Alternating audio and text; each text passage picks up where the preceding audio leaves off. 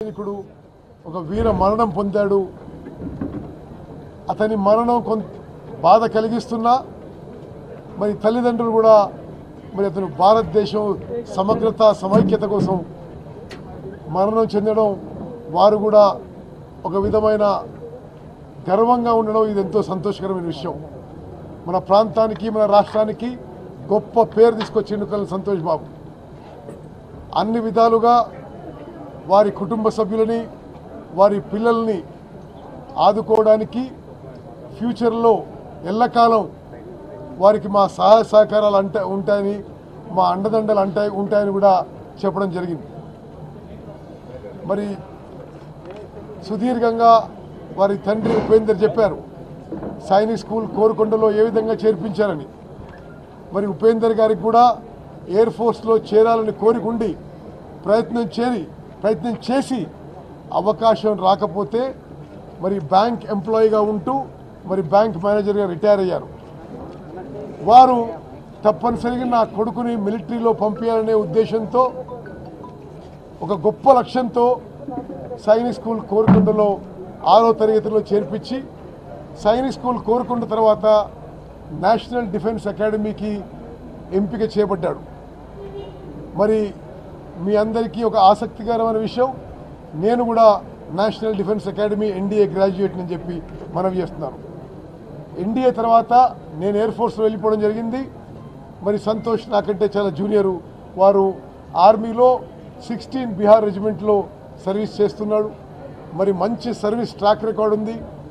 మరి పాకిస్తాన్ చైనా సరిహద్దుల్లో అనేక సంవత్సరాలు దేశ రక్షణ కోసం తన ప్రాణాలు సైతం ఫనంగా పెట్టి పోరాడిన గొప్ప సైనికుడు వీర సైనికుడు మరి అని చెప్పి మనం చేస్తున్నాను.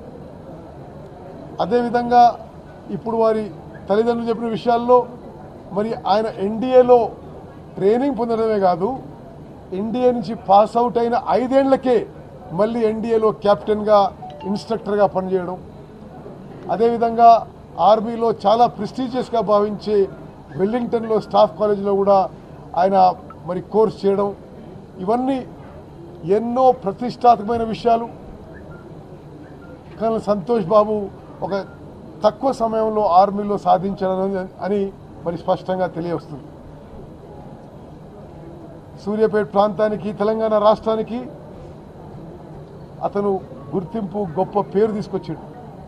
నేను అదేవిధంగా సోనియా గాంధీ గారి తరఫు నుంచి వారి తల్లిదండ్రులకు ఒక లేఖ అందజేయడం జరిగింది.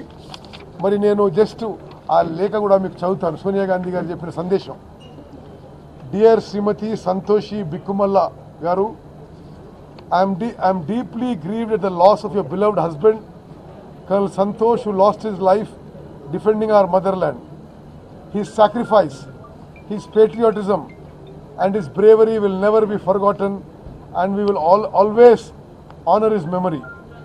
At this time of grief, words are of little consolation, but I wanted to tell you that I share your pain with all my heart. You must draw solace from the fact that your husband lived his life with the utmost honor, devotion to duty, and love for his country. I join every Indian today in paying homage to your husband, a heroic son of India, whose death is deeply mourned by the whole nation. I pray that you find the strength to bear your loss. May Colonel, Colonel Santosh's soul rest in peace. With my heartfelt condolences in grief, Sonia Gandhi మరి ఈ letter ఇప్పుడే నేను తల్లిదండ్రులకు ఇవ్వడం జరిగింది మరి రాహుల్ గాంధీ గారు కూడా వారి సంతాపం సానుభూతి తెలియజేశారు మరి మేము పార్లమెంట్ సభ్యులుగా కాంగ్రెస్ పార్టీ అధ్యక్షునిగా ఎప్పుడు కూడా ఈ కుటుంబానికి మా సహాయ సహకారాలు ఉంటాయని చెప్పి మనం చేస్తూ మరి తెలంగాణ రాష్ట్రానికే ఇంత గొప్ప పేరు తెచ్చిన కర్నల్ సంతోష్ బాబు వారి పేరున ఒక మంచి ఏదో విధంగా ఒక ఇన్స్టిట్యూషను ఒక గవర్నమెంట్ ప్రాజెక్టు ఉంటే ఆ పేరు ప్రతిష్టలు ఎల్లకాలం ఉండాలని మరి ఆ కీర్తి అంతటా పోవాలని వారి జీవితమే పిల్లలకి ఆదర్శం కావాలని చెప్పి కోరుకుంటూ ఒక సలహా ఇస్తున్న ప్రభుత్వానికి సూర్యాపేటలో ఏర్పాటు చేయబోతున్న గవర్నమెంట్ మెడికల్ కాలేజ్ కానీ